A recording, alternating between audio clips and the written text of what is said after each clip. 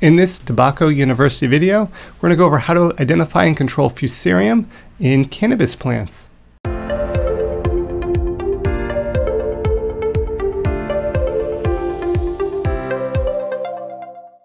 While fusarium is considered to be a soil-borne disease, we can see it infects the stems as well as upper portions of the plant as well. So I don't think it's only isolated to the roots.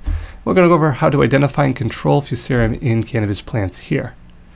So first off, the identification of Fusarium. Well, Fusarium wilt and crown rot, which are caused by the Fusarium species. Cannabis plants will have a wilted appearance and discoloration in the vascular tissue.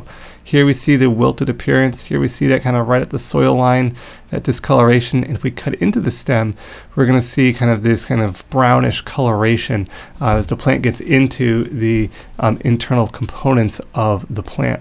Physical damage by mechanical insect or nematodes to the roots can also increase the severity and rate of spread of fusarium as well as if it grow over waters plants or plants receive excess nitrogen, this can also uh, cause them to be more prone to fusarium infections. Note this is a common occurrence when high amounts of compost have been added to a plant, as this does increase the water holding capacity as well as typically the nitrogen, and that will encourage fusarium to proliferate in that substrate of that plant. Now, word of caution with uh, fusarium is that the infection of female buds and grains is a serious and underestimated disease that may result in contamination by fusarium mycotoxins. Cornell has found contamination of hemp grain to exceed 7 parts per million um, of this all. So keep in mind that while it's a root disease, can affect upper portions of the plant, can cause mycotoxins to develop, can cause some severe issues. So don't think it's only limited just to the root section of a plant. Now the general life cycle of fusarium, it's important to understand a life cycle because where you can break that life cycle, interrupt it in some way, might be a way you could reduce severity. Now when we're looking at our life cycle, those kind of small little portions, those germinating spores, penetrating the uh, lateral roots, causing it to kind of proliferate, causing it to get into the internal structure of the plant. Here we see that uh, occurring. Well, those wound areas are just encouraging that. Now we're getting into the vesicles of the plant, particularly the xylem, which is the water transporting vesicles of the plant. And then it goes through and it really clogs the xylem. That's why we saw that kind of brown image. Brown image is because all those little fusarium spores are in there clogging up the xylem, limiting the water transport, causing the plant to wilt. Then it proliferates from there, it breaks out, can get on the leaves, can then spread and break off, get back into the soil, proliferate there, and then kind of repeat the cycle again. So keep in mind this fusarium, think about it, it's initially affecting the roots, but really affects a lot of portions of the plant. So how do you go about controlling it?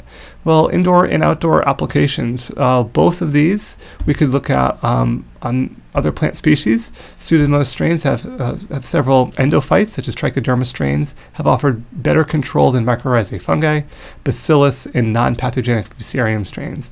So the Pseudomonas or trichodermas uh, might be worth investigating as biological controls. Uh, this is one product, this is another product that does contain trichoderma species. If you're growing cannabis in an outdoor location on a large scale, may not be as uh, advantageous to apply these products. So crop rotations that have some effectiveness if levels are initially low when they're first identified. Incorporating mustard cover crop can help, but really if you identify it specifically as fusarium, you might want to look at the cover crop called hairy vetch. This has shown suppression of fusarium in fields planted with watermelon. Uh, to eliminate field to field transfer via tools and equipment, you want to make sure you're not transferring soil either. So eliminate soil transfer so you're not infecting multiple fields if you have them. Plant maybe some hairy vetch to get some nitrogen benefit, as well as suppress fusarium in the soil. And there's also some biological controls that exist. Goals to identify early to try to suppress it. Key part being, if possible, if you identify an area that does have fusarium, rotate out, give that soil a rest, plant some cover crops, and then come back later uh, with your crop of choice.